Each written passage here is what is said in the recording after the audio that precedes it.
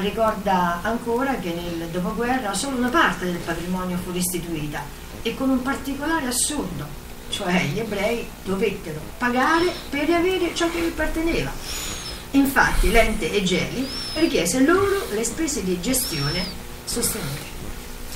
Tra le ville più lussuose restituite al legittimo proprietario ce n'è una che è diventata famosa perché acquistata dal notissimo attore George Clooney. Ebbene, questa grande villa, Villa Oleandra, sul lago di Como, era abitata eh, negli anni 30 del Novecento dal pittore Emilio Vitali, che amava trascorrere lì vari periodi durante l'estate, appunto in questa eh, bellissima villa settecentesca ricevuta in eredità dal nonno.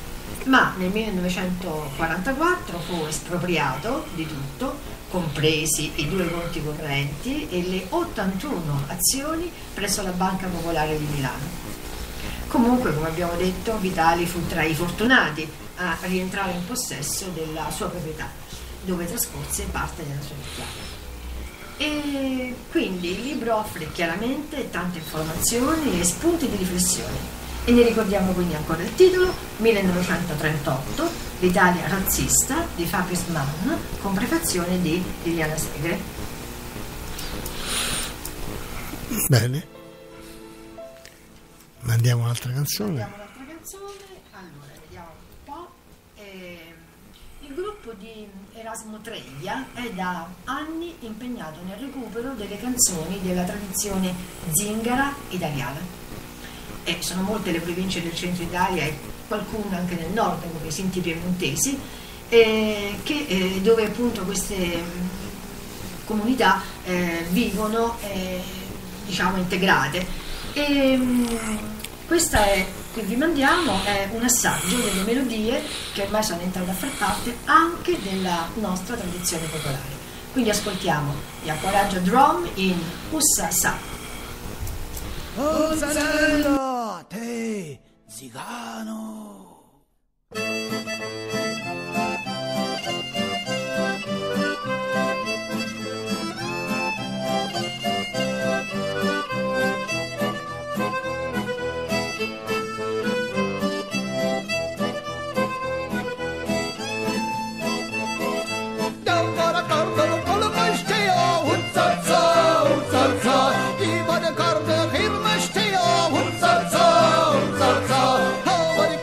domowa delicia, uca, uca, uca, uca, piwo dekowa demowa, strysia, uca.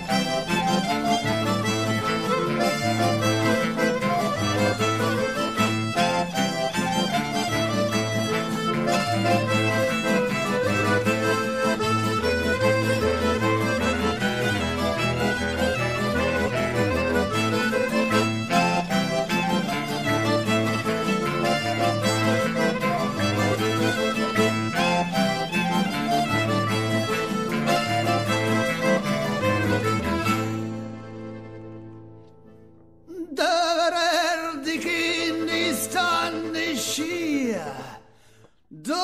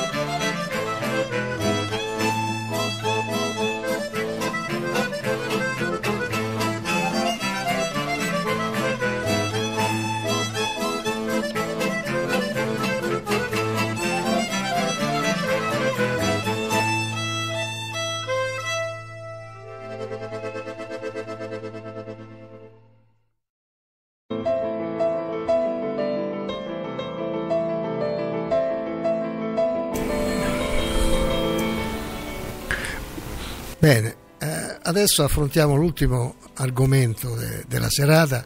Abbiamo tagliato un, un altro degli argomenti, il fascismo tra ieri e, e oggi, eh, di cui parleremo la, la prossima volta. Avevamo intenzione di, di farlo, ma insomma il tempo non, eh, è tiranno, non ce lo consente.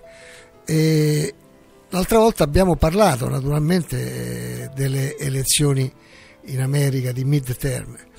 E oggi mh, non solo confermiamo la vittoria Dem, ma eh, rafforziamo quella che era solo un'impressione iniziale, anzi a dire la verità Trump ha cantato anche vittoria, eh, però se andiamo a leggere adesso i risultati eh, non, è, non, è, così. Eh, una elezione negli, eh, negli Stati Uniti non è un processo breve, assolutamente. Le campagne elettorali cominciano molto prima, mesi, a volte anni. Il conteggio dei voti richiede anch'esso tempo e spesso riserva sorprese. Per esempio, lunedì 12 novembre, a meno di una settimana dal voto, Kirsten Sinema è diventata la nuova senatrice dell'Arizona. Eh, prima donna a ricoprire la carica di senatrice di questo Stato, prima democratica dopo 30 anni, il dominio assoluto dei repubblicani. Questa vittoria ha ridotto il margine di vantaggio dei repubblicani al Senato, 47 democratici contro 51 con ancora due seggi eh, incerti, forse uno perché non so se quello della California eh, adesso è stato, è stato assegnato, mi pare di sì, ai repubblicani però quindi forse uno solo potrebbe ancora essere, mentre nelle, eh, nelle Camere nella Camera eh, dei rappresentanti la vittoria è netta. 227 democratici 198 repubblicani anche se ancora anche lì eh, una decina di seggi ancora sono da giudicare ma non cambierebbe il rapporto di forza anche se vincessero tutti i repubblicani ma questo non è non, è, non solo non è auspicabile ma non è nemmeno possibile. Perché hanno vinto i, i democratici? Cosa è cambiato dalle ultime elezioni che hanno eletto Trump? Il primo dato è la straordinaria affluenza alle urne 113 milioni di votanti un record eh, assoluto per una elezione di mid-term. Un grande contributo lo hanno dato i, gio- i giovani quelli al primo voto ma questa diciamo è solo una premessa. Il resto lo ha fatto la potenza eh, dei candidati, soprattutto donne di origini etniche e religiose diverse da quella WASP, acronimo che significa White Anglo-Saxon Protestant. Non bastava solo essere quindi bianchi, anglosassoni, protestanti. Eh, non bastava solo essere donna per vincere bisognava avere personalità carismatica e toccare temi vicini ai problemi degli elettori, spingendosi molto più a sinistra di quanto non abbiano fatto normalmente finora i democratici e spingendosi in alcuni casi a dichiararsi apertamente socialisti o socialiste. Uno dei margini più importanti di guadagno dei democratici proviene da 17 distretti chiave in cui nel 2016 Trump aveva avuto la meglio. Altro bacino importante sono i sobborghi, questa è una cosa veramente importante, oltre quelli operai in cui si è recuperato da parte dei democratici una, eh, la presenza e si è vinto, eh, quelli con, eh, con, i ceti benestanti, i sobborghi con i ceti benestanti. Eh, con eh, ceti con più istruzione che hanno votato de- eh, democratico in opposizione a Trump. Eh, proprio una opposizione viscerale, eh, una opposizione forte. Ora i Dem debbono trovare il loro candidato alla presidenza e non è scontato che sia Michelle Obama, anche se adesso è uscito un libro molto intimista da parte di Michelle, eh, come dire eh, la, la, storytelling piace molto in America, quindi sulla vita privata e sul rapporto con, con, con Obama, con Barack.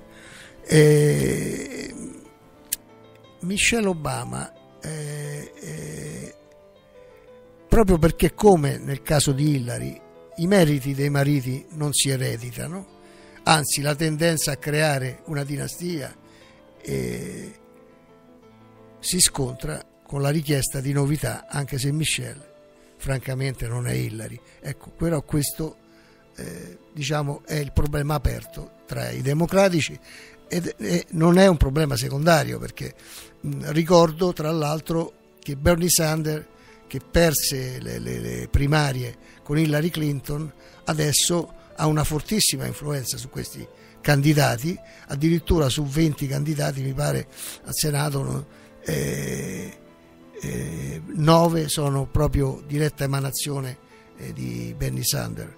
Quindi n- non so, questa tendenza a, um, ad avere candidate donne di forte personalità e di scelte radicali dal punto di vista politico è una cosa molto molto molto importante e che sta cambiando il volto del Partito Democratico e, e può far fronte a, eh, diciamo, al ciclone Trump e arginarlo e forse anche batterlo con intelligenza ma anche con una fortissima volontà che ci vuole in questa, in questa situazione che può rischiare di diventare anche drammatica perché eh, cominciamo non a conoscerlo perché conoscerlo è un'impresa eh, Trump eh, conoscere Trump è, è quasi eh, come dire un,